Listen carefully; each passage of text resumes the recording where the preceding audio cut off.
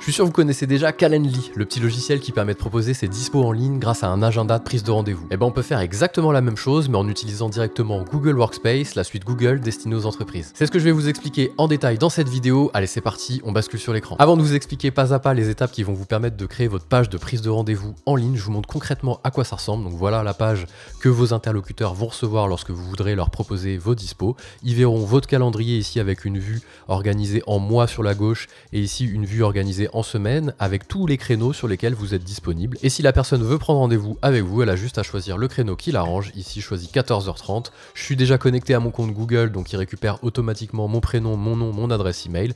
Vous faites réserver. Ça va envoyer une invitation directement à la personne qui prend rendez-vous avec vous. Ça va, tout faire tout seul. Et vous, vous aurez également le rendez-vous qui va se mettre directement sur votre agenda Google sans que vous ayez besoin de rien faire. Donc c'est exactement comme Calendly. On verra qu'il y a quelques limites à la fin par rapport à Calendly, bah forcément. Hein. Mais si vous avez une utilisation simple d'une page de prise de rendez-vous, n'hésitez pas à utiliser ça. Ça vous évite d'avoir un autre outil et de potentiellement payer pour un autre logiciel. Maintenant, on va basculer sur Google Agenda, parce que c'est ici que tout se passe pour créer votre page de prise de rendez-vous. Vous êtes sur votre Google Agenda, classique, je vais ouvrir le mien, hop, ici, vous avez vos rendez-vous, etc. Et là, vous dites bah, comment je vais créer un planning de prise de rendez-vous? Il va simplement falloir cliquer sur le petit bouton créer ici et planning des rendez-vous. Petit disclaimer, si vous n'avez pas ce bouton ici, c'est que vous n'êtes pas dans la bonne version de Google Workspace. C'est pas disponible dans toutes les versions de Google Workspace et je crois que la première, la Google Workspace Starter, ne propose pas cette fonctionnalité là. Donc il va falloir que vous passiez dans la version supérieure pour avoir accès à cette fonctionnalité, mais pas que, puisque ça va vous permettre d'avoir accès à plein d'autres choses derrière bien pratiques. Donc si vous payez déjà pour Calendly, bah n'hésitez pas à regarder euh, la différence de prix pour passer sur Google Workspace, sachant que la version supérieure n'apporte pas uniquement euh, que le planning des rendez-vous. Disclaimer fermé, je vais vous expliquer comment faire étape par étape. Donc là, vous allez faire créer planning des rendez-vous. Ça va vous permettre d'ouvrir une petite fenêtre où vous allez pouvoir proposer un titre. Donc c'est le titre que les gens verront lorsqu'ils verront votre page de rendez-vous. Ici directement Baptiste Visio 30 minutes. Donc vous pouvez mettre quelque chose d'assez clair. Hein. Euh, prenez rendez-vous avec moi par exemple, un truc comme ça vous mettez un titre, c'est ce qui apparaîtra. Vous choisissez quelle va être la durée des rendez-vous que les gens vont pouvoir prendre avec vous. Donc si vous voulez une heure, 30 minutes ou une durée personnalisée, vous pouvez aussi le faire. Là ici je vais mettre par exemple une heure parce que c'est déjà une prise de rendez-vous pour des rendez-vous d'une demi-heure, donc je vais pas refaire exactement la même chose. Vous choisissez quand sont vos disponibilités.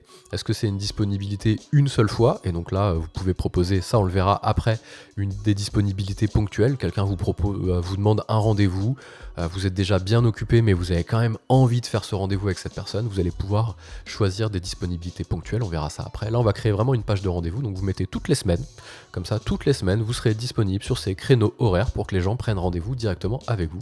Donc là, 9h-17h, euh, c'est très bien. Vous pouvez choisir de faire un 9h euh, midi, par exemple, et un 14h, 18h, si on respecte un peu les horaires de bureau, on va dire.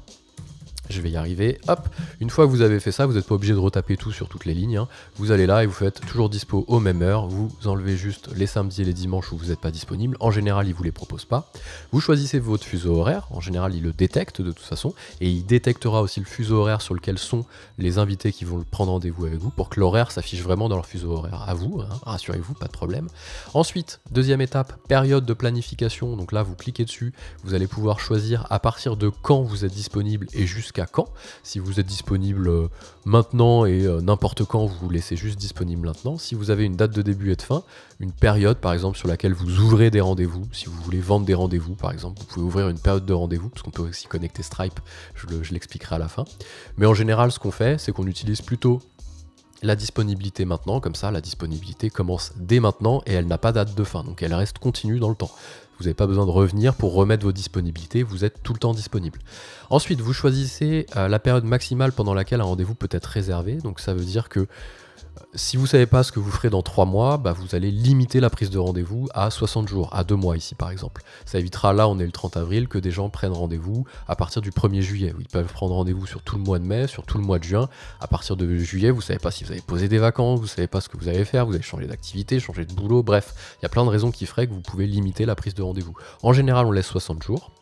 La deuxième option ici juste en dessous, la période minimale pendant laquelle un rendez-vous peut être réservé avant son heure de début. Imaginons, on est euh, mardi 30 avril, 9h54, je suis en train de tourner cette vidéo, je suis marqué comme étant disponible. Pendant qu'on tourne cette vidéo, quelqu'un prend rendez-vous avec moi l'après-midi. je le vois pas parce que après quand je quitte la vidéo, je vais faire autre chose.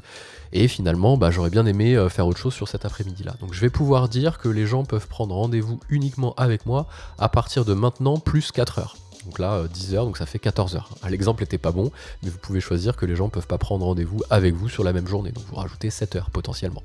Comme ça, ils peuvent prendre rendez-vous uniquement à partir du lendemain. Ensuite, l'option juste en dessous, disponibilité à certaines dates. Vous avez un planning type, c'est-à-dire que là vous êtes disponible, euh, imaginons du lundi au jeudi, et vous vous réservez euh, par exemple le, le vendredi pour faire autre chose. Voilà. du lundi au jeudi, vous êtes disponible et le vendredi, vous dites bah c'est ma journée où je réserve euh, la création de contenu. Sauf que sur une semaine, vous n'avez pas besoin de votre vendredi et vous pouvez l'ouvrir pour proposer des dispos à vos prospects ou à vos collègues. Et eh bien vous allez pouvoir rajouter ici ponctuellement une date de disponibilité. Vous allez vous dire bah là, en général le vendredi je suis pas dispo, mais exceptionnellement ce vendredi là, parce que les autres jours ici sont fériés par exemple, là il y a mercredi c'est le 1er mai, euh, bah, je vais me rendre disponible également le vendredi pour compenser et je vais utiliser mon 1er mai pour faire mes sujets de fond sur lesquels il n'y a pas besoin de mes clients par exemple. Et je vais rajouter une date de disponibilité. Ok? Donc ça c'est, un petit peu la config générale. Ensuite, paramètres des rendez-vous réservés. Ici, vous allez pouvoir dire que vous voulez toujours mettre un battement entre le début et la fin d'une visio. Donc un petit battement de 30 minutes de pause entre les rendez-vous et combien de rendez-vous maximum de ce type vous voulez réserver chaque jour? Vous voulez pas faire plus de 4 visios d'une heure par jour? Après, euh, vous avez la tête comme un chou-fleur et vous avez besoin de décompresser.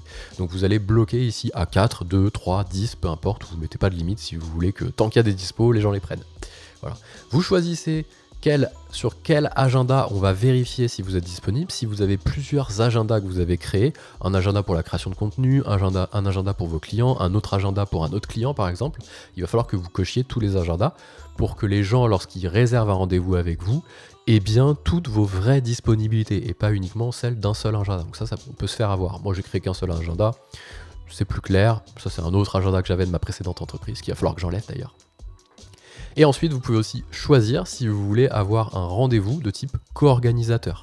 Si par exemple c'est des rendez-vous que vous faites tout le temps à deux avec un ou une collègue, vous allez pouvoir ici sélectionner dans la liste, donc là moi je suis tout seul dans ma société, hein, je suis en freelance, mais si dans votre Google Workspace vous avez d'autres collaborateurs ou collaboratrices, vous allez pouvoir sélectionner d'autres personnes pour que ça vienne vérifier les disponibilités des deux personnes sur la page de prise de rendez-vous. Donc ça c'est hyper pratique si vous animez des formations à deux, si vous faites les calls de rendez-vous de découverte à deux, que sais-je, s'il y a besoin juste de vérifier que les deux sont bien disponibles avant de proposer un rendez-vous, bah vous créez ici un type de rendez-vous avec des co-organisateurs.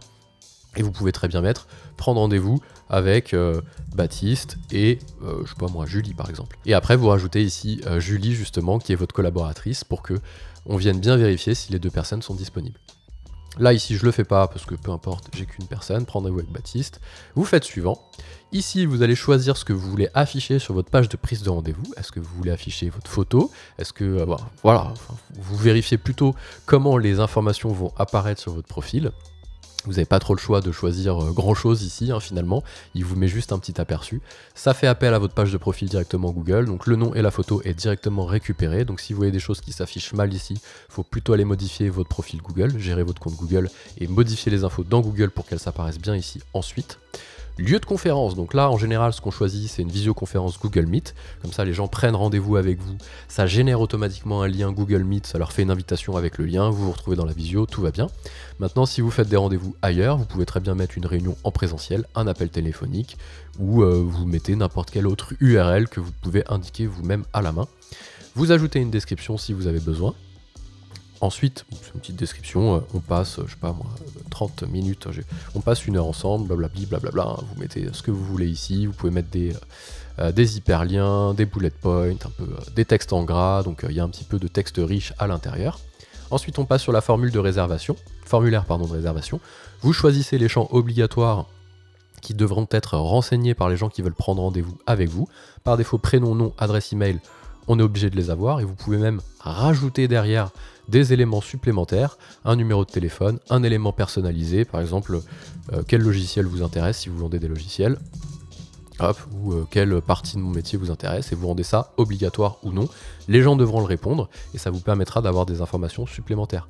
Donc ça peut être euh, dites-moi plus, en général c'est ce qu'on fait, Dites-moi plus euh, sur votre besoin et vous rendez ça obligatoire, comme ça vous êtes sûr que les gens prennent rendez-vous et vous donnent aussi un petit peu d'éléments de contexte. Si vous voulez pas rendre le formulaire trop compliqué, vous laissez les champs par défaut et vous passez derrière aux modalités de paiement et d'annulation. On va pas rentrer en détail dans la partie faire payer ses rendez-vous, mais sachez que vous pouvez connecter votre compte Stripe directement à Google Agenda pour que les gens payent avant de pouvoir prendre rendez-vous avec vous. Donc hyper intéressant si vous vendez des coachings, si vous vendez des formations en ligne et que vous n'avez pas envie de rajouter une couche supplémentaire de, euh, de site e-commerce en ligne. Vous pouvez faire ici un petit module assez simple pour faire payer vos rendez-vous. Modalité d'annulation, bah ça c'est sur la partie justement où les gens vont pouvoir annuler le rendez-vous. Si vous les avez fait payer, vous pouvez mettre des modalités. Euh, si vous annulez dans les 24 heures, je vous rembourse pas, etc. Donc vous écrivez ce que vous voulez, c'est un peu des CGV finalement. Et ensuite, vous choisissez comment vous voulez que euh, les confirmations apparaissent chez vous et chez votre, interlocuteur qui aura pris rendez-vous avec vous. Vous pouvez choisir ici une invitation agenda, c'est l'invitation par défaut, donc la personne va être invitée comme si vous l'invitiez à un agenda, euh, comme, quand, on dit bah, je crée l'invitation, euh, t'inquiète pas, je crée le rendez-vous et je t'invite, bah, c'est exactement la même chose. Ça peut lui faire un rappel par email un jour avant et vous pouvez même choisir un autre rappel pour être sûr que la personne vient, donc réduire aussi un petit peu le no-show, donc les risques de non-présentation au rendez-vous, surtout si vous utilisez ça dans vos stratégies commerciales. Ce que vous avez envie, c'est que les gens viennent à vos rendez-vous, donc n'hésitez pas à mettre des rappels. N'en mettez pas trop non plus pour pas gonfler les gens, mais un rappel un jour avant et un rappel 10 minutes avant, c'est largement suffisant. Vous faites enregistrer, et vous avez directement, vous voyez, apparaître. Alors ça peut être un peu chiant que ça apparaisse directement sur l'agenda, mais rassurez-vous, on va pouvoir l'enlever. Et vous avez ici directement une page que vous pouvez ouvrir pour la consulter, la nouvelle page, prendre rendez-vous avec Baptiste. Donc là, ici, je suis plus dispo parce que c'était uniquement une dispo d'une demi-heure, mais à partir de euh, jeudi 14h, les gens peuvent prendre rendez-vous directement avec moi et peuvent aussi, euh, vous allez pouvoir afficher toutes vos pages de réservation. Donc vous pouvez très bien avoir un lien directement ici que vous avez que vous gardez avec vous, où les gens peuvent choisir la durée avec laquelle ils vont pouvoir interagir avec vous. Si vous avez créé plusieurs types de rendez-vous, vous pouvez plutôt partager ce lien-là. Tiens, prends rendez-vous avec moi, choisis toi-même la durée en fonction des questions que tu as à me poser. Si vous vendez vos rendez-vous, c'est pas mal. Moi, en général, je propose toujours une demi-heure quand je connais pas, euh, bah, surtout dans une stratégie commerciale. Et après, j'étoffe si besoin, avec toujours une petite plage de sécurité après s'il y a besoin de déborder, si la discussion est intéressante et qu'on n'a pas eu le temps de tout traiter. Ça, c'est ma stratégie.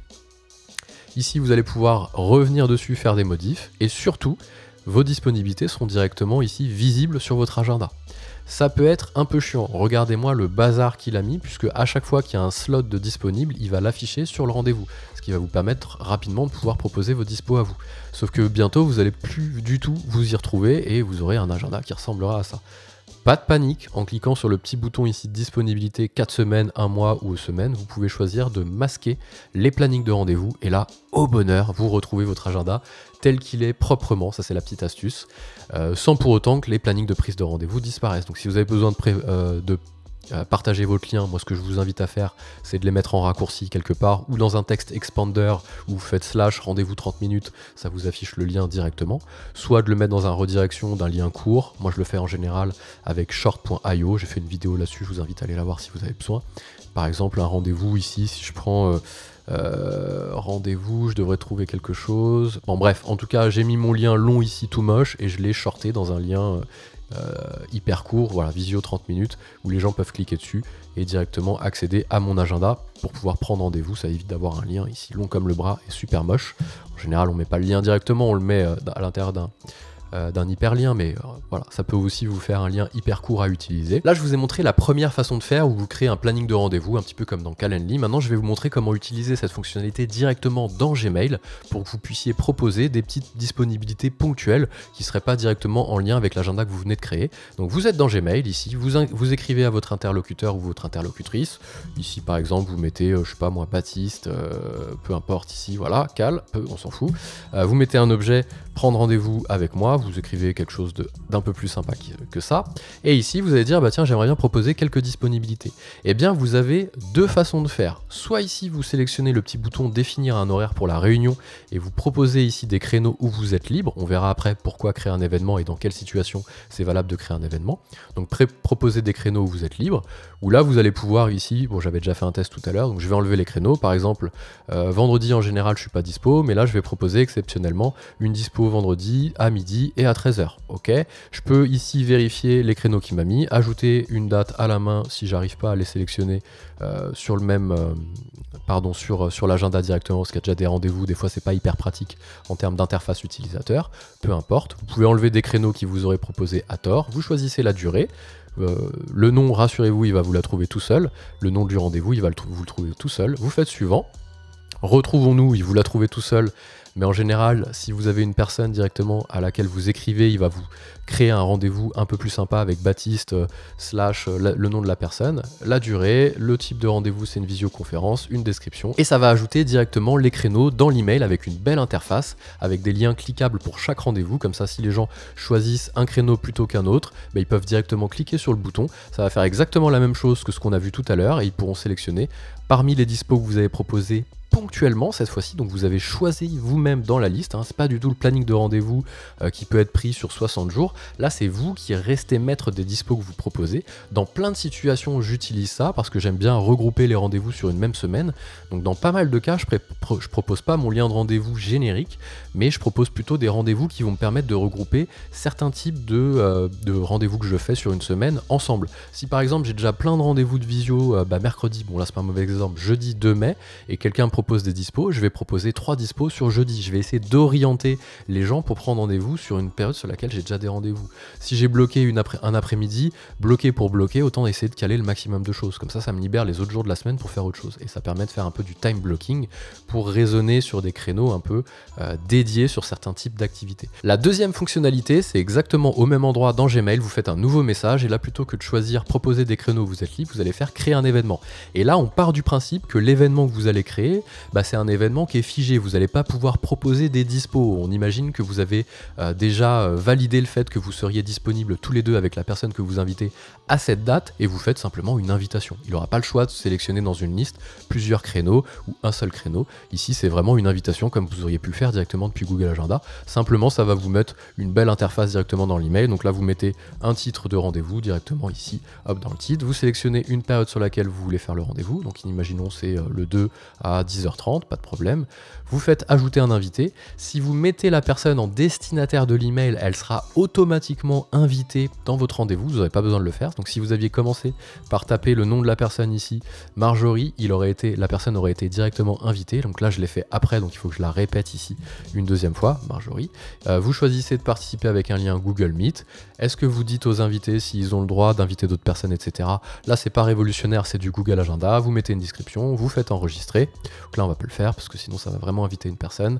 Vous faites enregistrer et vous avez le petit euh, snippet, on appelle ça un peu comme on veut, désolé pour l'accent, euh, la petite interface qui se met directement dans l'email où la personne va pouvoir cliquer pour voir le rendez-vous, l'accepter ou non. C'est un petit peu plus joli qu'un rendez-vous Google Agenda dans lequel il n'y a pas trop de contexte, puisque là, ça vous permet de rajouter un petit peu de titre, un peu, un peu de texte. Bonjour, je fais suite à notre discussion, on a validé ensemble tel rendez-vous, voici l'invitation, et ça fait un truc un peu plus sympa que de l'inviter directement depuis Google Agenda. Alors, c'est bien beau tout ça, mais il y a quand même des limites par rapport à Calendly. Effectivement, si vous avez une utilisation simple, pas de souci, n'hésitez pas à utiliser la fonctionnalité euh, planning de prise de rendez-vous directement intégrée à votre Google Workspace. Si vous avez déjà la bonne version, tant mieux. Si vous devez payer la version supplémentaire, essayez de challenger par rapport à ce que ça va vous coûter sur Calendly. Et sur Calendly, il y a quelque chose qu'on peut faire mais qu'on ne peut pas faire euh, dans Google Workspace. Donc comme ça, je vous cache rien du tout. Hein. si vous l'utilisez, c'est en toute connaissance de cause. C'est ce qu'on appelle le round robin directement euh, dans Calendly. C'est le fait de proposer ses dispos. Je ne sais pas si je vais réussir à le trouver assez facilement ici. C'est le fait de pouvoir proposer des disponibilités tournantes. En fait, est-ce qu'ils me l'ont mis ici Don't lose prospect? Je vais vous l'expliquer, peu importe, je ne l'ai pas trouvé sur leur page de présentation. C'est le fait de proposer un lien unique et derrière, euh, vous n'avez pas les dispos d'une seule personne qui se cache, vous avez vraiment les dispos de toute une équipe. On va prendre un cas d'usage. Vous avez un lien de rendez-vous pour les rendez-vous sales, les rendez-vous commerciaux, mais vous ne vous voulez pas proposer tout le temps le même commercial. Et eh bien le fait de créer un round robin dans Calendly, ça va vous permettre d'échanger à tour de rôle, ici on le voit, le round robin, euh, les, les, les dispos qui sont proposés. Premier rendez-vous, c'est tel commercial euh, qui est proposé. Deuxième rendez-vous juste après, c'est un autre commercial. Vous pouvez choisir de répartir équitablement les rendez-vous entre les commerciaux, euh, de proposer plutôt la première personne disponible avec une règle de disponibilité. Je crois que j'ai fait une vidéo sur Calendly sur le round robin, donc n'hésitez pas à aller le voir. En tout cas, c'est la limite que je vois moi par rapport à Google Workspace, puisqu'on a aussi la possibilité dans Google Workspace de faire des rendez-vous de groupe, on l'a vu, vous pouvez mettre des co-organisateurs. Donc, sauf si j'en oublie, n'hésitez pas à me mettre en commentaire si j'oublie des, des, limites de Google Workspace par rapport à Calendly, n'hésitez pas à me les mettre en commentaire. En tout cas, moi je vois que ça, donc c'est vraiment quelque chose euh, qu'il va falloir euh, creuser en détail, le fait d'utiliser plutôt Google Workspace euh, plutôt que Calendly, parce que bah, ça permet au moins, pour le coup c'est un avantage, d'avoir un seul outil, donc de ne pas perdre les équipes avec plein d'outils dans tous les sens. Si on essaye de faire le maximum de choses avec le moins d'outils, c'est encore mieux. S'il y a une logique de coût derrière, c'est encore mieux aussi. Donc n'hésitez pas à aller creuser cette solution. Si vous avez des questions, ça se passe directement en, en commentaire, j'y répondrai avec grand plaisir.